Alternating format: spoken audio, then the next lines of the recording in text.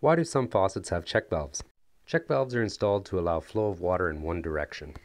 This is important just in case your water lines ever get pulled into a negative pressure. If the faucet head is sitting in dirty water and you turn your water off to your house, it can potentially pull the water out of the dirty sink into your supply line.